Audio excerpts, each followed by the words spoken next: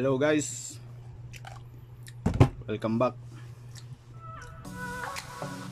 This is Tech Norman Lee At your service.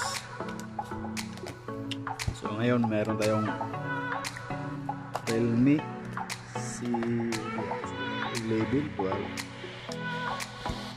Basta sigurado ako Realme ito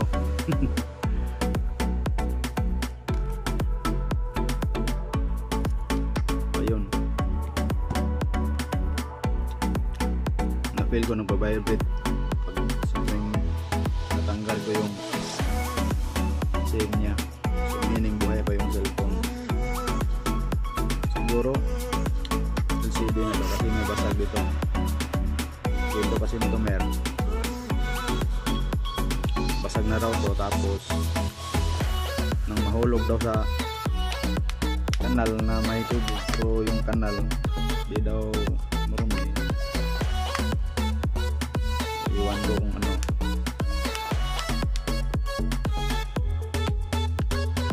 Pero sandali lang daw ito nababad kasi nakuha daw niya sa pagka hulog agad-agad kinuha daw niya.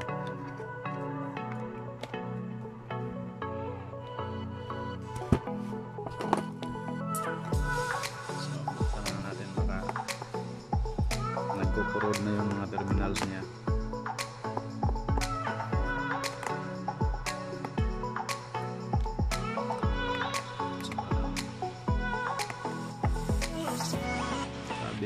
ng tumer handa naman siyang ipaparepair pero papacheck lang daw niya muna kung ano talaga sila. Kasi di ba o talagang hindi na mabubuhay yung yun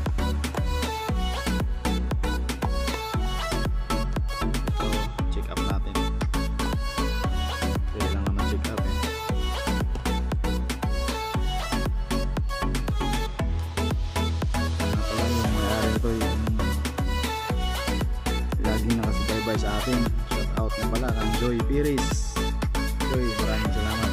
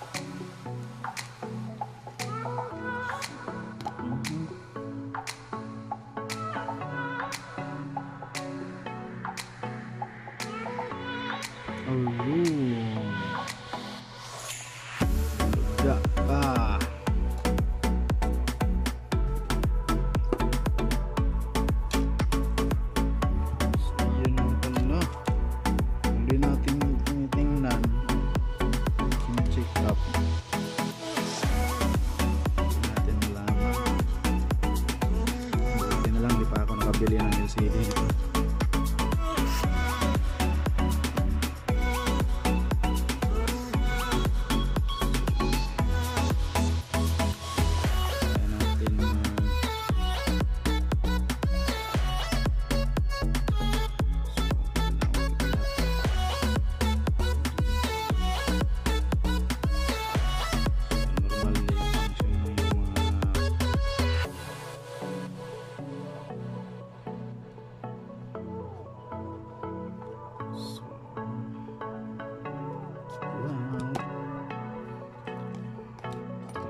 Swerte ni Joy. Buti na lang, hindi napapalitan ng LCD.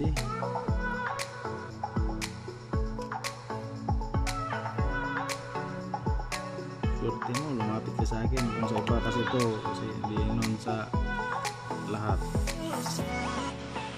Kasi yung iba kasi talagang tumitira ng mga customer. Wala nito. Kung sa iba siguro alam na. Pero hindi lahat guys. Hindi lahat ng technician ganun. Marami pa naman kasi kami na may puso.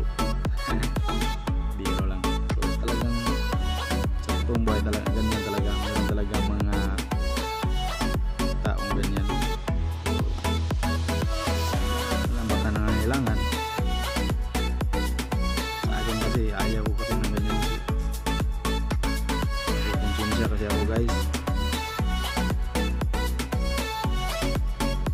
Is na tutulungan natin sila.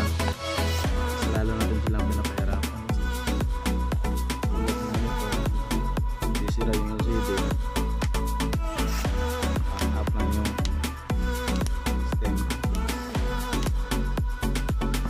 mga kunting bag lang.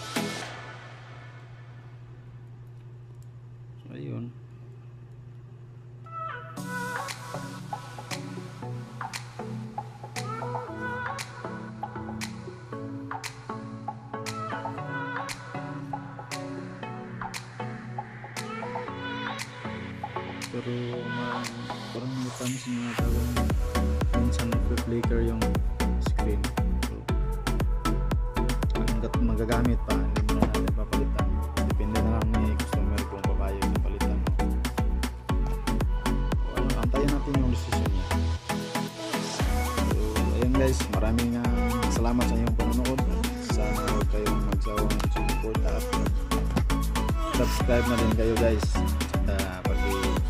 pag-hit na lang ng notification bell nang sa ganon lagi kayong updated sa mga susunod na video na i-upload. Thank you guys. Once again this is Tech Normally at your service